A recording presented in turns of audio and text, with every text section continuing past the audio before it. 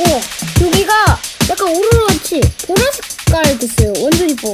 대박. 루루 샤샤 TV 안녕 루루TV의 루피나예요 자 오늘은 슬라임 버리는 법을 한번 알려드릴 건데요 오래되거나 버리려고 하는 슬라임이 있으면 그냥 쓰레기통에 버리시면 안 되고요 이렇게 신문지에다가 슬라임을 얇게 펴주세요 해볼게요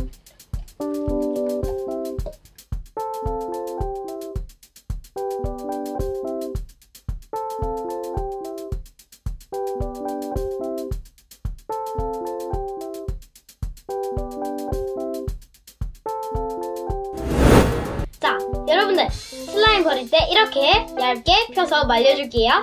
그럼 며칠 뒤에 모습 확인하시죠. 자, 이렇게 2, 3일 정도가 지났는데요.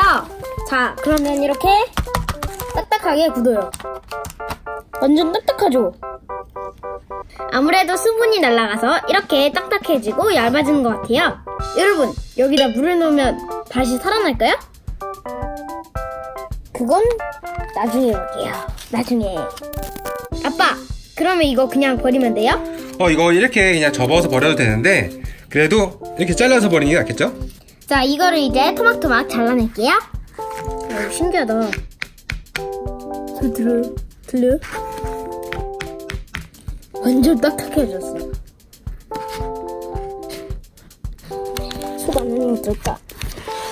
여기 속에가 스펀지 같이 딱딱해요. 요거는 음. 잘라낼게요.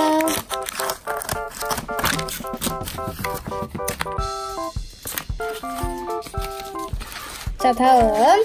우와, 여기가 약간 오로라같이 보라색깔 됐어요. 완전 이뻐. 대박. 이거를 잘라내볼게요.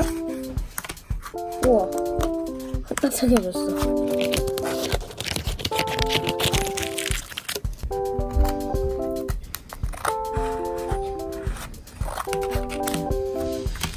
여기는 너무 얇아가지고 그냥 종이 같아요. 이게 제일 신기해요.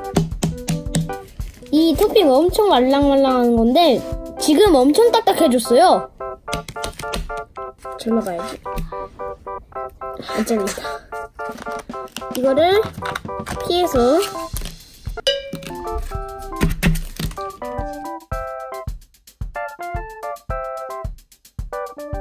자, 이렇게 다 모았는데요. 이걸 이제 쓰레기통에 버리면 됩니다.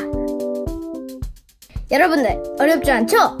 여러분들도 꼭 이렇게 버려야 돼요. 자, 그럼 저는 이만 이거 버리러 갈게요. 그럼 안녕!